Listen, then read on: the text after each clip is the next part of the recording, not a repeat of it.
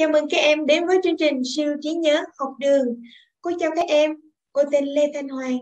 Cô rất vui khi được gặp lại các em. Ở bài học trước, cô đã hướng dẫn các em nắm được cách nói câu xin lỗi phù hợp cho tình huống trong bài đọc. Ở phần tiếp theo này, cô và các em cùng nhau vận dụng viết lời xin lỗi theo tình huống nhé.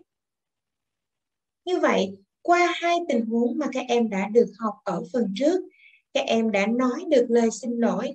Các em cũng lưu ý khi nói lời xin lỗi thì cần sử dụng câu có từ xin lỗi và nói rõ lý do xin lỗi. Lưu ý cách xưng hô khi nói lời và đáp lời xin lỗi như cậu, tớ, bạn, mình, các em nhé. Chúng ta cùng đến với nội dung tiếp theo. Viết lời xin lỗi theo tình huống. Em làm việc riêng trong giờ học bị cô giáo nhắc nhở. Chúng ta cùng thực hiện các em nhé. Địa điểm trong lớp, thời gian trong giờ học, tình huống làm việc riêng, cô giáo nhắc nhở. Vậy khi học sinh vi phạm, chúng ta sẽ nhận lỗi và xin lỗi cô giáo, phải không các em?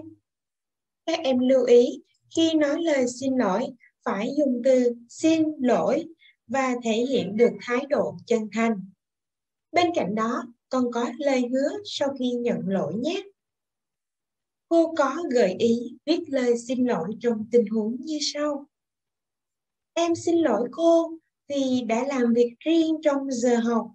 Em hứa không tái phạm và trong giờ học sẽ chú ý lắng nghe cô giảng và chép bài đầy đủ. Hoặc các em có thể viết lời xin lỗi như sau. Hôm nay em đã làm việc riêng trong giờ học.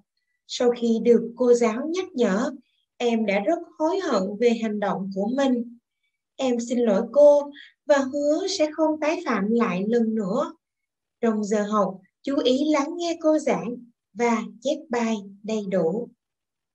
Dựa vào kết quả nói lời xin lỗi, các em hãy viết thanh đoạn văn vào vở nhé. Cô tin chắc rằng với sự hướng dẫn của cô, các em sẽ làm bài thật tốt. Các em thân mến, cô vừa hướng dẫn các em nói, viết lời xin lỗi. Các em lưu ý khi nói lời xin lỗi phải dùng từ xin lỗi và thể hiện được thái độ chân thành. Sau khi hoàn thành bài, các em hãy chia sẻ với bạn bè, người thân cũng như lưu ý khi sử dụng lời xin lỗi trong cuộc sống hàng ngày các em nhé. Qua bài viết lời xin lỗi, các em đã biết nói lời xin lỗi trong hai tình huống chuyện cho hoa về sắc và cỏ non cười rồi và biết nói lời xin lỗi khi sai trái, làm phiền. Biết dùng từ xin hô khi xin lỗi như tớ, cậu, bạn, mình. Biết nói lời xin lỗi để thể hiện thái độ, lễ phép, tôn trọng. Và qua bài học này, các em đã biết viết lời xin lỗi cô giáo bằng thái độ chân thành. Bài học của chúng ta đến đây là kết thúc.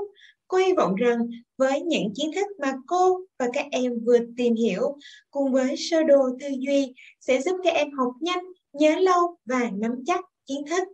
Các em hãy vẽ lại nội dung bài học bằng sơ đồ tư duy và chia sẻ cho người thân cũng như là bạn bè của mình biết với nhé.